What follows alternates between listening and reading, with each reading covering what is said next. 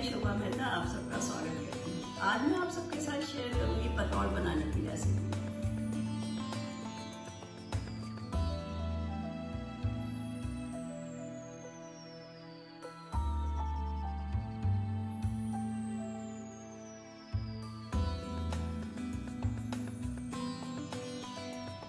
पतौड़ Jain families में और Rajasthan side में बहुत ज़्यादा बनते हैं। ये झटपट बन जाते हैं और बहुत कम सामान से, सिर्फ़ बेसन चाहिए होता है पतौड़ बनाने के लिए और थोड़े से मसाले डलते हैं इसमें। आज मैं आपके साथ शेयर करूँगी सूखे पतौड़ और पतौड़ से बने हुए रायते की रेसिपी पतौड़ बनाने के लिए ये मैंने एक कप बेसन लिया है। पतौड़ में सिर्फ़ पानी डालने का नाप होता है। एक कप बेसन लिया है, मैं इसमें दो कप पानी डालूँगी। पानी बिल्कुल मेज़र करके डालिएगा। पहले एक कप पानी डाल के थोड़ा बेसन घोल लेंगे हम। लगता है पतौड़ बनाना मुश्किल है, लेकिन जब आप एक बार इस तरह बना कर देखेंगे, आपको लगेगा ये तो बहुत इजी है। एक कप पहले डाल चुकी हूँ मैं पानी, एक कप पानी और डाल रही हूँ। तो एक कप में दो कप पानी। अभी जिस बर्तन में आपको पतौड़ बनाने हैं, उसमें डायरेक्ट इस घोल को छान लीजिए।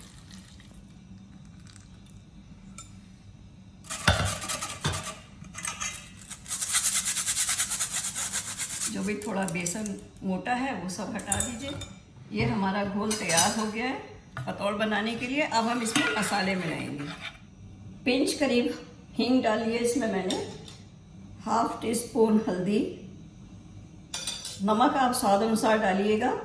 मैंने वन टीस्पून से थोड़ा कम नमक डाला है और वन टीस्पून लाल मिर्ची। इन सबको अच्छे से मिला लीजिए। ये ध्यान रहे, ये सब तैयारी आप गैस पर जब नहीं रख रखा है, तभी करें। ये सब मिल गया अच्छे से। अब हम अपना पतौड़ बनाने के लिए गैस ऑन करते हैं। पतौड़ बनाने के लिए आपको मिक्सर को कंटिन्यूसली चलाना होगा। एक मिनट के लिए भी आपका हाथ ना रुके, बस।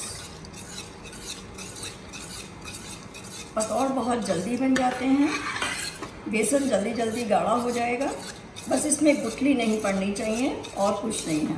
अगर आप कंटिन्यूस चलाते रहेंगे तो गुठली इसमें नहीं पड़ेगी।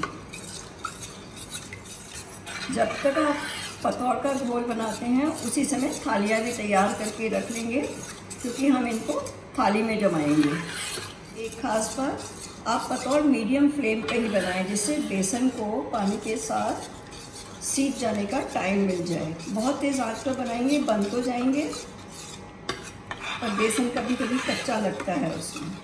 तो आराम से मीडियम फ्लेम पर बनाएँ। आप देख सकते हैं, बेसन गाढ़ा होने लगा है। इसको कंटिन्यूसली हम चलाते रहेंगे, जिससे कि इसमें गांठें ना पड़े। कुल मिला के दो से चार मिनट के अंदर पतौड़ बन जाते हैं।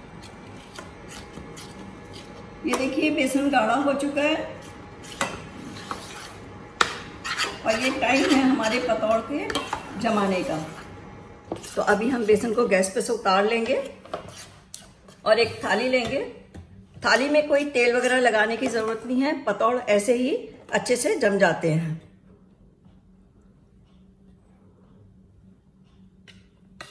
पतौड़ आपको मोटे बनाने हैं, पतले बनाने हैं, वो आपके ऊपर है।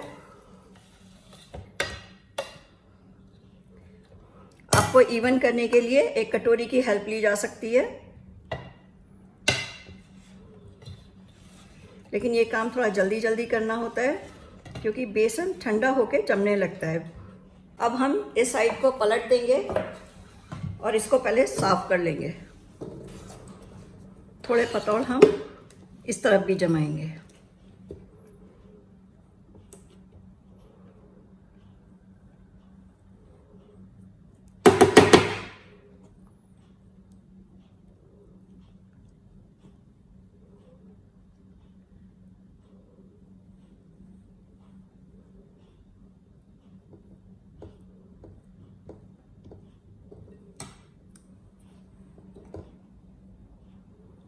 हल्के हाथ से आप कटोरी को ऐसे कर दीजिए।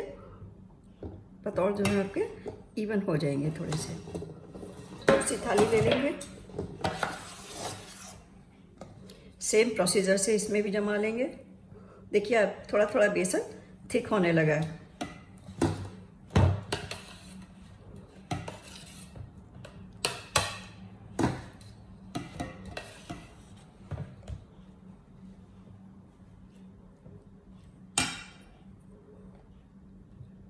बहुत ही हल्के हाथ से।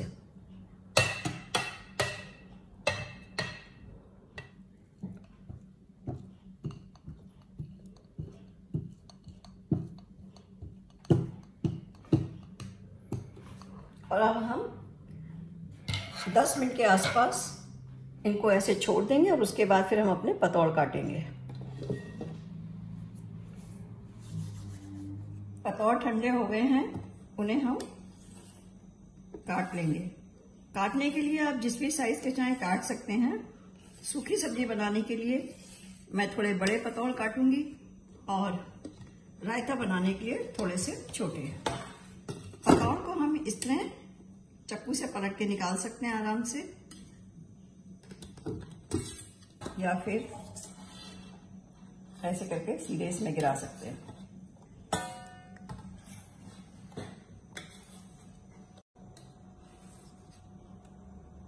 तरह करके हम अपने सारे पतौड़ हटा लेंगे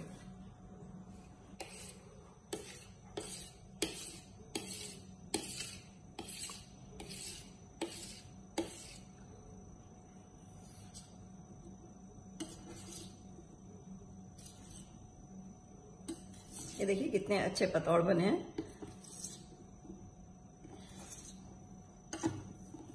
अगर आपको पतौड़ मोटे बनाने हो तो आपकी चॉइस है। मैं थोड़े पतले पतौड़ बनाती हूँ। खासतौर से सूखी सब्ज़ी जब बनानी होती है पतौड़ की, उसमें पतले वाले पतौड़ ही अच्छे लगते हैं।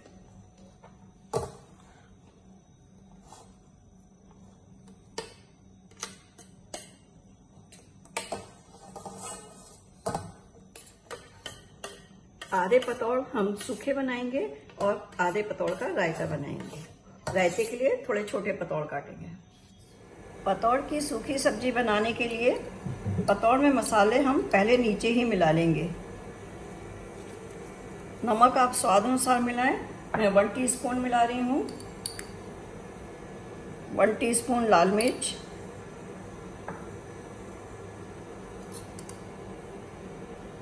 वन टीस्पून धनिया पाउडर। और वन टीस्पून ही अमचूर। अमचूर भी आप अपने स्वाद से देख लें। कम खट्टा खाते हो तो कम डालें। अब हम इसको पहले मसालों को थोड़ा यहीं मिक्स कर लेंगे, हल्के हाथ से।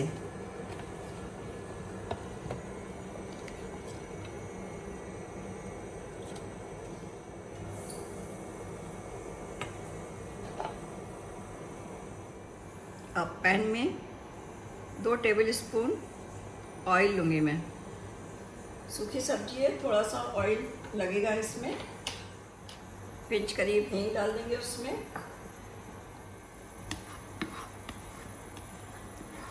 एक चम्मच राई डाल दूँगी।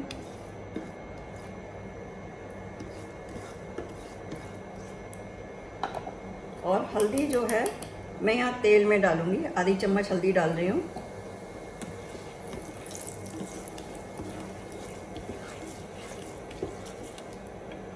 और अब हम ये पतौड़ इसमें पलट देंगे।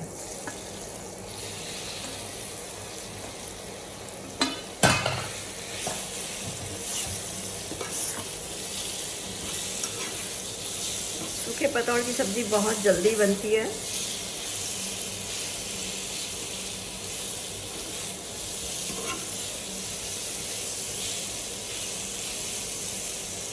बस एक मिनट के लिए इसको हम मीडियम गैस पे रखेंगे और फिर सर्विंग बोल में पलट देंगे। हमारे सूखे पतौड़ बन चुके हैं, अब पतौड़ का रायता बना लेते हैं। पतौड़ का रायता बनाने के लिए मैंने एक कप ये दही लिया है, इसको थोड़ा अच्छे से बीट कर लेंगे। थोड़ा सा पतला करूँगी। चौथाई कप करीब पानी डाल दिया मैंने। इसकी कंसिस्टेंसी चेक कर लेते हैं।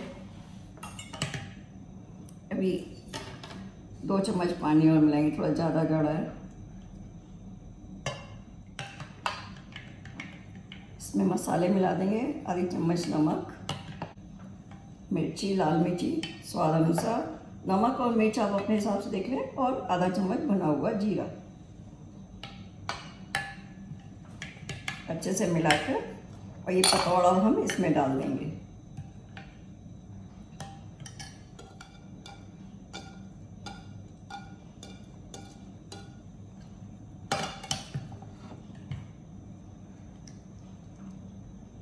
ये हमने सूखे पतौड़ की सब्ज़ी और पतौड़ का रायता बना लिया है। तो आप प्लीज़ इसको ज़रूर ट्राई कीजिएगा। मेरी रेसिपी के हिसाब से पतौड़ बनाइए, खाइए, खिलाइए। मेरी रेसिपी को शेयर कीजिएगा और मेरी चैनल को सब्सक्राइब कीजिएगा। मैं आप सबका थैंक्स कहती हूँ for watching me and my video thank you very much